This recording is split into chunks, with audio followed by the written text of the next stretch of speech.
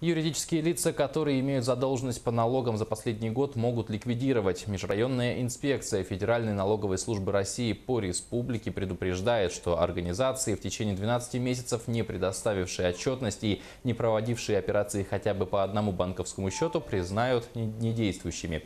Более того, после снятия их с учета, согласно новым требованиям, они не смогут оформить новое юрлицо в течение трех лет. На сегодня налоговая инспекция направила запросы во все органы, которые бы подтвердили факт осуществления деятельности юридических лиц при наступлении отрицательных э, ответов по нашим запросам данные юридические лица будут сняты с учета. Это в основном у нас садово-огороднические товарищества идут, жилищно-строительные кооперативы, товарищества собственников жилья, а также дачно-садоводческие кооперативы. Поэтому призываем председателей данных некоммерческих организаций активно подойти в налоговую инспекцию и представить отчетность